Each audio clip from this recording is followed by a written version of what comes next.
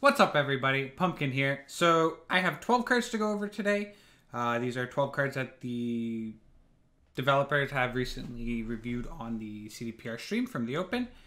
Um, we have two from each faction and one from the, the neutral category of cards. So, starting off, uh, this is a neutral Regis Bloodlust. Uh, 4 strength, 9 provisions, deploy damage an enemy unit by 4, reach 2, deathblow, banish it. So, I mean, if you've been playing Gwent, that you, you know that this card is very similar to another card, and that is Ifrit. Ifrit has identical stats, everything. Uh, it doesn't have Reach 2, not that that matters, uh, and it does not have the ability to banish a unit. Um, so this is obviously strictly better. Uh, the scenario where Ifrit is better is if you're new to the game and you want that kind of effect, and you don't want to craft a legendary, and Ifrit's an epic. So uh, other than that very small, minor detail, uh, they do the same thing, except this has the potential um, to be better. So, the cases where Death Blow is better is when your opponent is resurrecting the card or using that card later on. So, examples of this would be any kind of Death Wish. So, if your opponent plays Celaeno Harpy and you play Regis Bloodlust, you deny the Death Wish. Same goes for Ancient Foglet and really any Death Wish card. Um, you can play this on Roach against Nilfgaard, and then when they go to Assire Roach, there won't be a Roach there. So uh, th- this effect also works against there. And the final one would be like a Lippy deck. Uh, a Lippy deck, let's say you want a Lippy Coral or you want a Lippy one of the Witchers um, later on when you uh, recycle your deck, uh, you will not have that card in your graveyard to put back into your deck uh, when you go ahead and play Lippy. So uh, there, there's a number of different uses for um, or the ability to banish one of your opponent's cards. We see this on Cyprian Wiley right now. I actually run it in one of my Scoia'tael lists. Uh, it's very, very strong against certain decks because being able to completely blow out a Celaeno, uh, a Harpy egg is huge. Um, will this card see play? 100%. Ifrit is seeing a lot of play right now, and this card is strictly better. So, great card. Uh, if you like playing removal, this card is good. Um, I do want to say um, th- this was also posted in the open. They did mention that Witchers and Uni Cairo are getting nerfed. Uh, we have no information as to what the nerf is. Um, all we know is there's going to be less of a reason to run them, right? Uh, in this expansion, we, we are getting a good, a, a, a couple cards that allow you to uh, increase the consistency in your deck. So, uh, in the upcoming patch, hopefully Witchers aren't seeing play as much as they used to. Um, my guess, there's two options. There's three options. I talked about this earlier on stream. Um, option A, they can completely rework the cards, start from scratch, uh, make them do completely different things. Yeah, they could do that. I don't think that's going to be the case because that requires more work and continuously changing cards is not fun. Um, the other two options are provision slash strength change. So I think what I would like to see is Witchers down to two strength from three strength, um, or two three two, right? So two of the threes go down to two. Um, or the other option is bring them from seven provisions up to eight provisions. Um, the thing is, I think they still see play. Eh. It's the, the the problem is yes, the thinning is great, obviously, but it's a nice round one proactive tempo play. It's a nice nine or twelve with Roach. So I both of the cases, if they go down to two or two three two, or they go down or up to eight provisions, obviously all of those cases, Witchers will see less play. There's no doubt about that. Um, I personally would prefer two three two or two two two, um, just because it makes decks that do have the Deathblow two a little better, which means Witchers are much much worse. So I, I would like to see the 222, but eh, we'll see. As far as the Uni Cairo, we have no information. Um, I don't know. Maybe they do three damage, and when you have the other one, they do six damage. I I have no idea. Um, if they no longer do four damage, um, then this card is great. Because then, if you do want to play that four damage removal, you're gonna have to run this card and a Ifrit probably. So, um, very good card.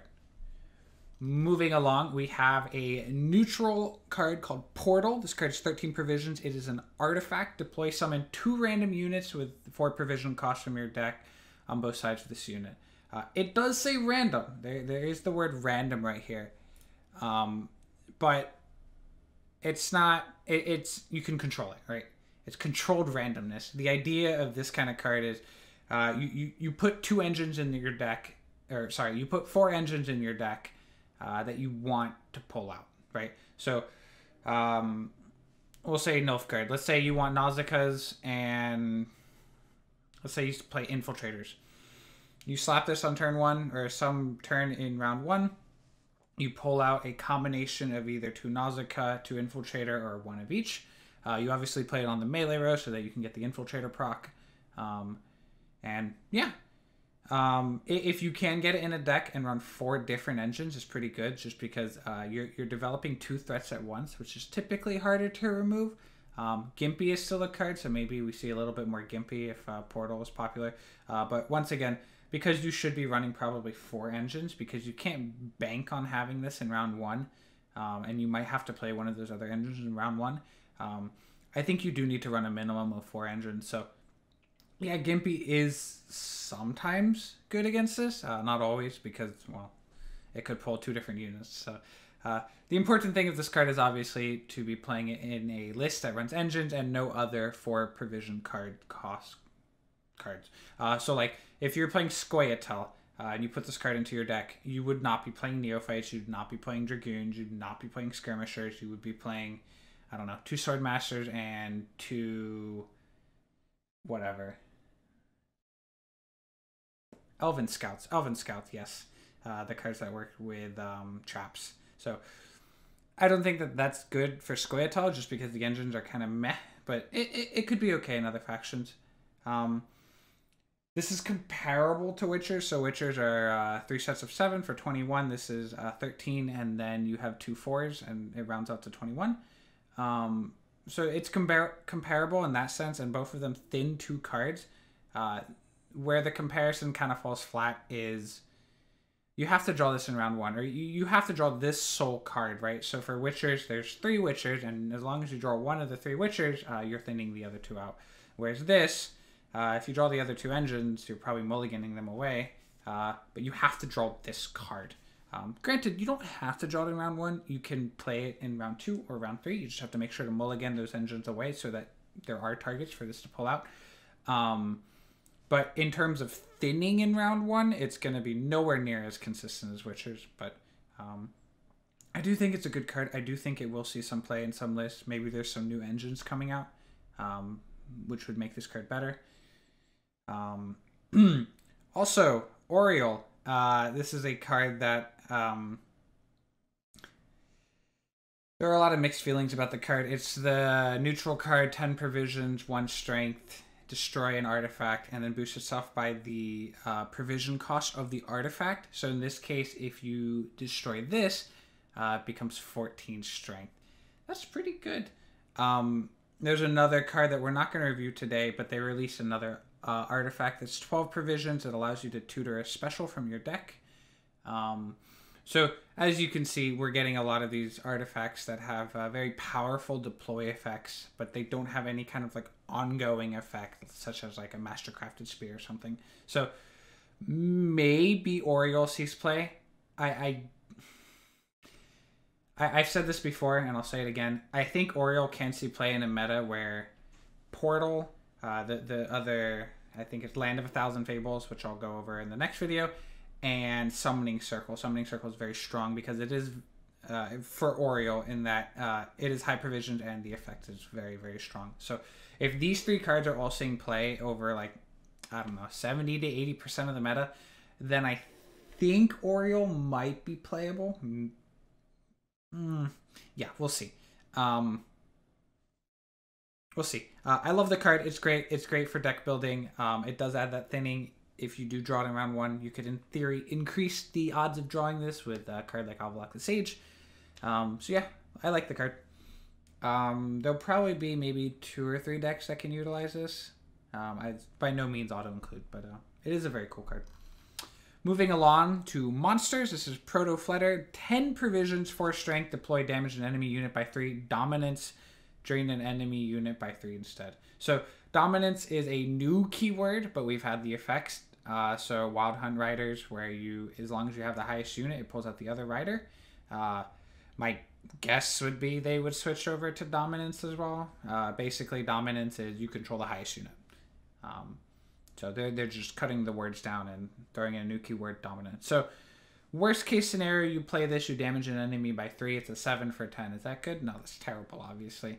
Um, if you have dominance, it drains instead. So this gives plus three. So you're looking at a 10 for 10. It's okay. Um, monsters typically doesn't have a lot of damage. Uh, most of their damaging effects are like two damage with Drowner. Uh, you have Cyclops.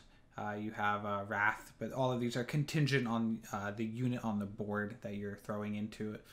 Um, it's okay. I mean, a 10 for 10 is not bad. A 10 for 10 is not bad at all. Um, I would say in old monsters, this wouldn't be good. When I say old monsters, I mean pre ghoul change because typically if you're playing expensive monster cards you wanted monster cards that had very large bodies so that you could double dip into the large bodies with ghoul and Azrael. Uh, but because of the ghoul change and since they only hit bronzes now um, typically you play Azrael you just hit the spear tip or like a cowdwell or something so you don't really need more large units so yeah i think this is okay i think it's good enough monsters typically play tall units so pulling off the dominance isn't too difficult uh, I believe it is a vampire, so if you're playing a vampire deck, you're most likely going to be running this card. So it's also removal in a faction that doesn't currently have a ton of removal. So yeah, I, I, I think this card will see some play. If I had to rate it out of five, I'd probably give it like a a three. It's it's not bad. It's playable. It's it's not auto include or anything. Um, maybe there's a big monster deck that does auto include this. I don't know. Uh, but it is a solid card. It is playable. I've seen this at nine provisions. They leaked it on stream. I think it was nine. Uh, I think the ones on this website right here are updated, so I, I guess they pulled it back to 10. Um, obviously, all these numbers are subject to change. Uh, CDPR can change as much as they want uh, before the 28th. Uh, so, um, but at the moment, it is a four that damages or drains by three. So, it's not bad. I, I think it will see some play. Uh, moving on, Crimson Curse. So what the entire expansion is being called. Uh, this is a special card for monsters. It is 11 provisions. Uh, another card where provisions might change. I, have seen many different numbers on this one.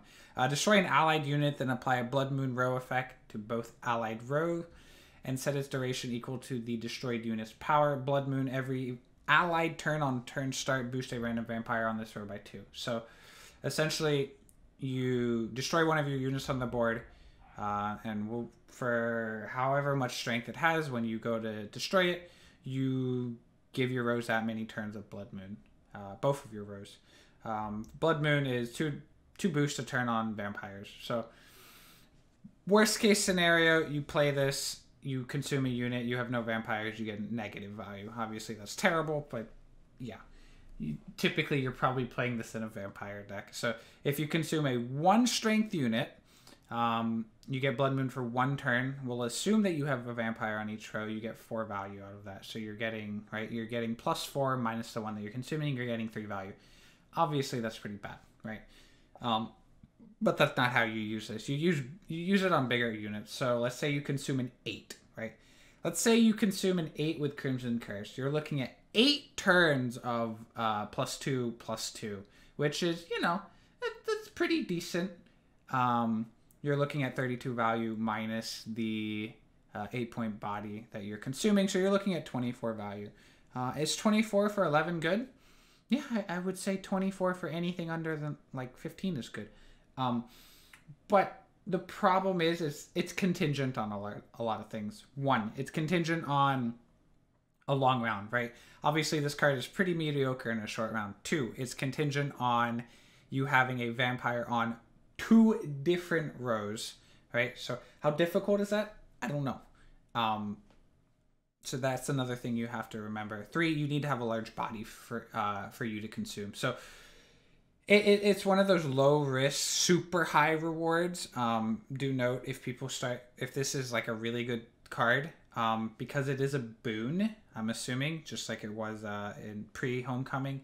My guess is fog would counter it, or any any weather effect would counter it. So, if you do go for that crazy 24 point value, um, and your opponent plays a fog, well, you're losing half that of value immediately. Um, and that kind of sucks. So this card, I mean, I don't know how CDPR is going to balance this card. You, you could make this nine provisions and it still might suck. I have no idea. Because the instant this card becomes good, I just start running Fog.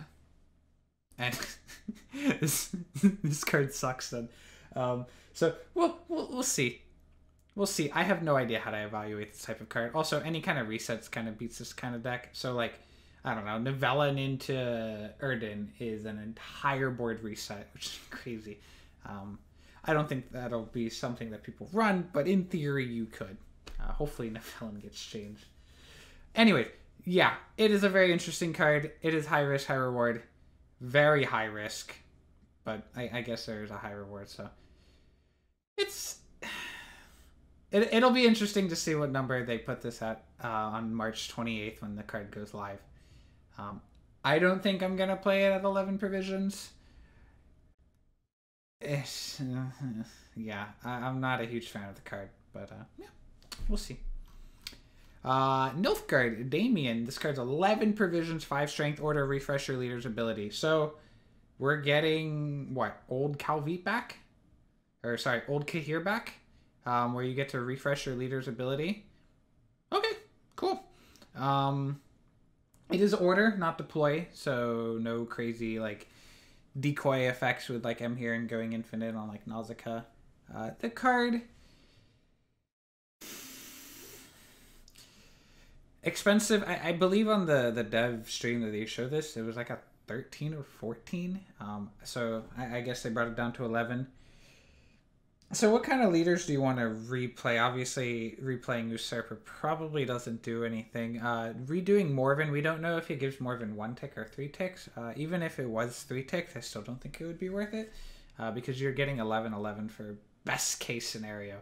Um, and if your opponent kills this or locks this or any of those things, then you're losing all six of those points. So, you you have to be getting a considerable amount of points out of your leader, and there is one leader that does do that. Well, technically two. Emhyr on some like crazy like shenanigan combos, like Vivian or whatever. Um, but more importantly, Ardal. So if you make your deck so that you can steal a four, you're looking at an eight point swing, and if you steal an engine, it's better than an eight.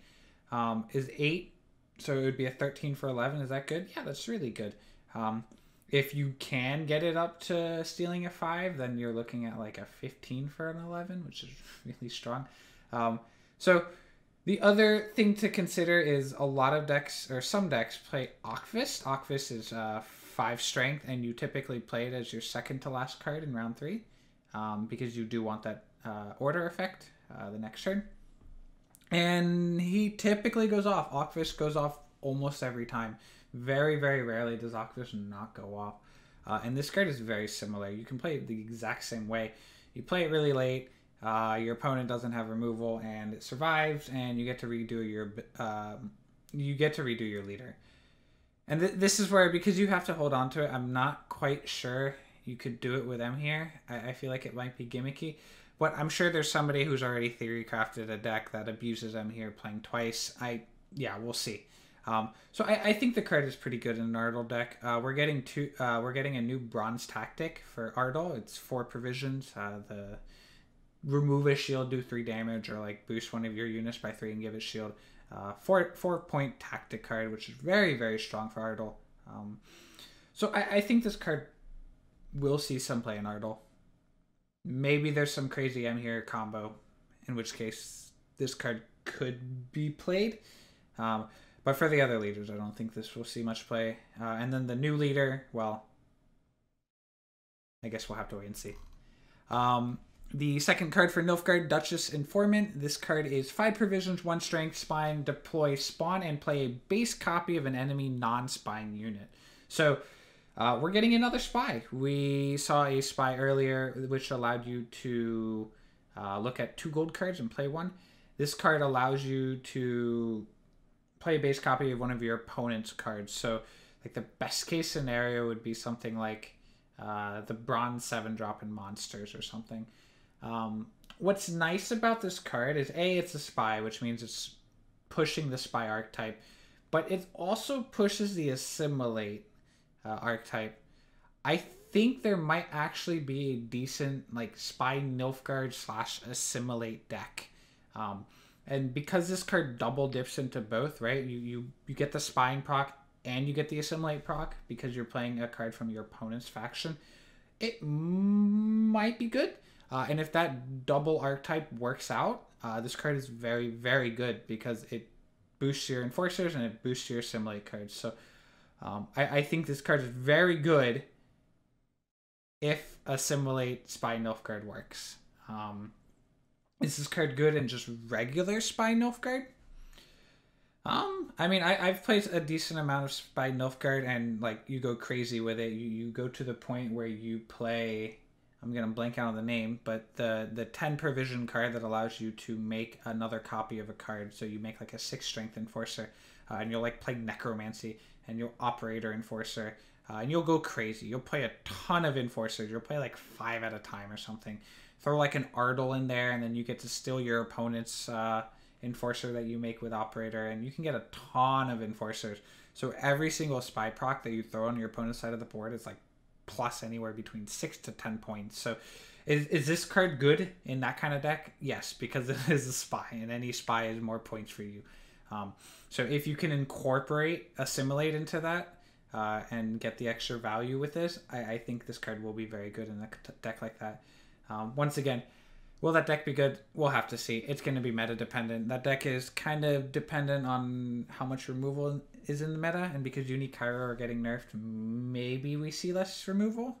Um, yeah, we'll see. This card's super, super hard to evaluate because it is very dependent on whether or not Assimilate is good. So we'll see.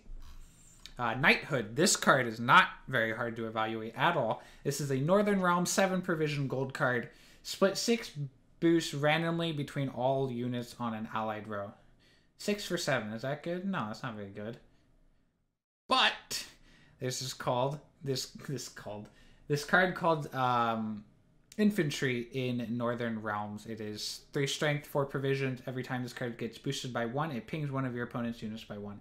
So if you play an infantry on a row and you play knighthood on it the turn after, um, that infantry gets plus six and then pings for six. So you're looking at 12 value. Is that good? Yeah, that's pretty good. Um, it's comparable to the like spectral, spectral whale card Delirium, I believe, in SK. Uh, in that you play like a great sword, you ping your opponent's units for six damage, and your great sword gets plus six. Uh, the difference between uh, the two different um, comparisons is Infantry is already auto included in every Meve deck. They all play it. It's great. It's super cheap. It's super easy to utilize. You have Meve, you have Anna.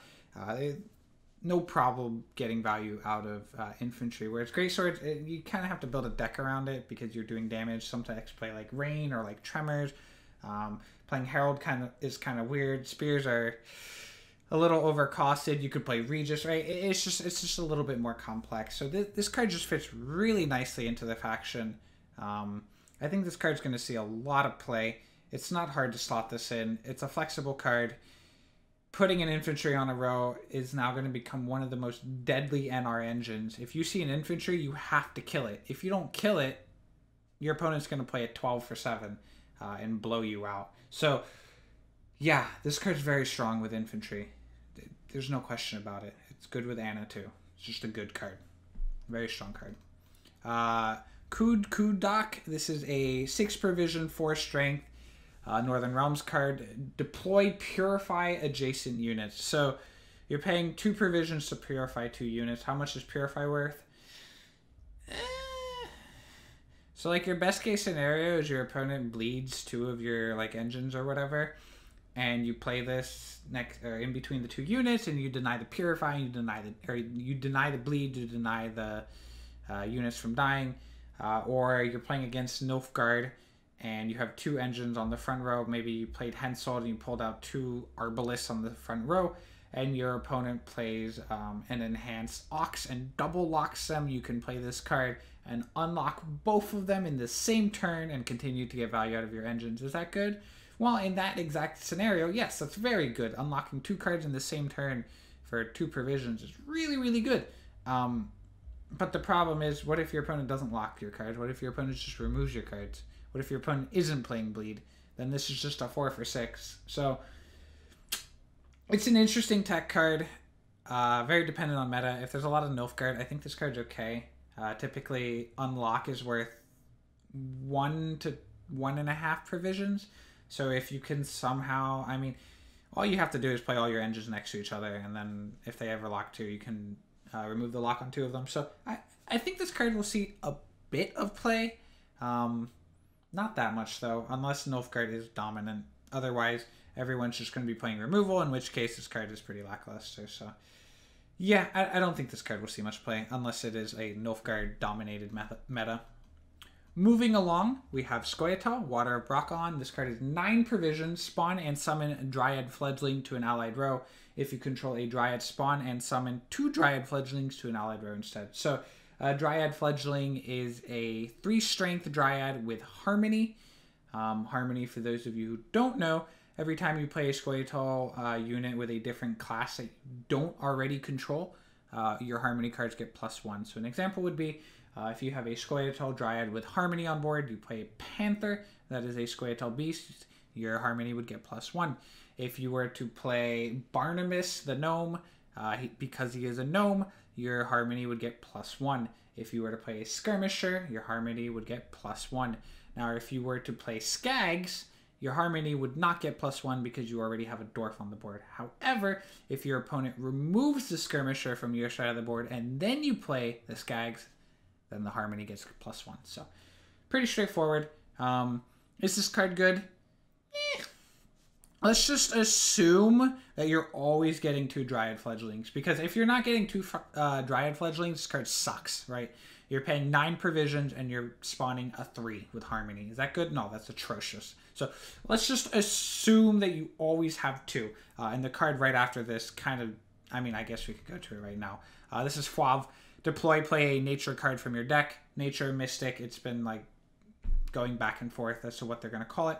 We do know that this card can summon water of brokilon so because this is a dryad it immediately meets the condition uh, and makes it so that water of brokilon will always go off. We'll, we'll come back to this card in a bit. Um, but so let's just assume for sake of argument you're always getting two dryad fledglings. Is this card good? Uh, you, you're playing six strength for nine provisions and they're engines. But the problem with Harmony is typically, if I had to guess, you'll probably get two Harmony procs on average, maybe three. Pushing three is not going to be very likely, I don't think, unless you unless you draw really well. So your best case scenario would be you, you play Fauve, you pull out Water Brokilon on turn one, and then the rest of your hand is beasts, dwarfs, elves, gnomes, dragons, whatever, uh, and then your Harmony goes crazy but that is assuming a long round. That is assuming you draw Fauve in your opening hand. It is also assuming your opponent does have doesn't have any removal for Fauve, so or for the fledgling. So I, I think this might be okay in like a in a heavy harmony deck. Maybe you play like a bunch of engines. Another um, Scoia'tael unit is Smugglers. Smugglers is uh, the card that boosts a card in your hand by one every turn, uh, and it is a human, which is good, right? Because that's another one of those tags uh, that would boost the harmony. So maybe in like a pretty heavy engine deck, this card could be okay. Uh, the idea is, yeah, maybe they can remove this engine, but if they're spending removal on these engines, it means they're not going to have removal for other engines. It's just like NR decks that just play a ton of engines. Like you don't need every engine to live. You just need like one or two or three of them to live. Uh, and this would be the example of this card. So I, I, I do think in like an engine kind of deck, this card could be quite good because the idea is they cannot remove everything. So yeah. Uh, as we mentioned earlier, two strength, nine provisions. Uh, you get to tutor out a nature card. Nature cards are that card, and yeah, we don't really know of any others. So uh, it's going to be dependent on what those other nature cards are. Um, cards that are similar to this are Menno and Kira. Kira gets to pull out a uh, spell or a special, and I think it's I don't remember. Um, and Menno is a tactic. Neither of those cards see much play other than Menno. Menno Menno gets seen in one deck, and it's the double horn deck. Basically, you play horn from hand, and then you assire the horn back into your deck, and then you Menno tutor it back out. Um, the only reason that card sees playing that deck is because, well, turns out playing a 15 point provision uh, or, or 15 strength uh, spell is pretty good when you can do it twice. So it, it kind of makes sense as to why Mena's in that deck. Um, yeah, this card's super hard to evaluate because we don't actually know what the other nature cards are. So maybe they're a new nature card. We'll, we'll have to wait and see. Um, but this, if you if you want to play Water Brokilon, you should be playing Fauve. So if you are playing Water, you're definitely going to be playing Fauve. Hopefully, there's another um, nature card that you can play in the deck because typically you don't want to be playing like a tutor card with only one option. So we'll see. It's going to be dependent on the other nature cards. Moving along to SK, we have Sigvald. This card is 8 provision, 6 strength, order, damage a unit by 1, reach 2, cooldown 1, berserk, damage a unit by 2 instead. For those of you who don't know what berserk is, berserk is whenever the unit reaches half of its HP, uh, the ability triggers. So in this case, it would be 3 strength. Is this card good? Um, well, let's look at Pavko. Pavko is a Scoia'tael card. It is 5 strength, 8 provisions, ping a unit for 1 damage every turn. This is the exact same card with 1 extra strength and an additional ability. um, yeah, this card's pretty good. It is a crazy Pavko. Um, if your opponent wants to kill this card, they have to kill the card. Uh, they can't like panther it and then like archer ethne ping it because if I mean they can do that. It just means one of those turns they're going to be pinging for two instead of one. Um, it is a it is an interesting card in that sure if you want to double the damage you're doing every turn, uh, you just damage this by half, and there there are some berserk cards that allow you to uh, damage other cards, but if you're damaging this down to three strength, it makes it much easier to kill, right? Um, if this card was three strength, damage a unit by two for six provisions, or for eight provisions, it wouldn't be very good because your opponent would just do three damage and kill it. So most of the time, you're just going to be playing this for a six for eight that pings for one every turn, and that's good. That's just good.